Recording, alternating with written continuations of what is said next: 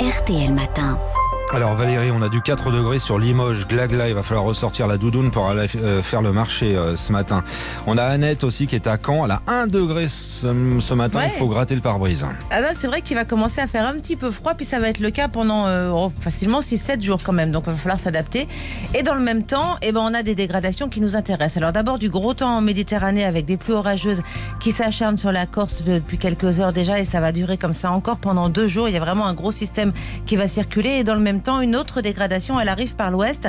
Ça nous donne déjà quelques pluies sur le Pays Basque et sur la pointe du Finistère ce matin, des pluies qui vont avancer et s'intensifier et qui s'étaleront de la Normandie jusqu'au Pays Basque à nouveau cet après-midi avec en plus de fortes rafales de vent qui atteindront les 100 km heure sur les côtes vendéennes ou encore en Charente. Donc faudra être encore assez prudent et puis partout ailleurs on va garder une belle grisaille toute la journée excepté quand même des Alpes jusqu'aux régions méditerranéennes continentales bien sûr où là le soleil devrait s'imposer passer quelques brouillards matinaux. Les températures elles sont basses ce matin, ça va pas voler très très haut non plus cet après-midi.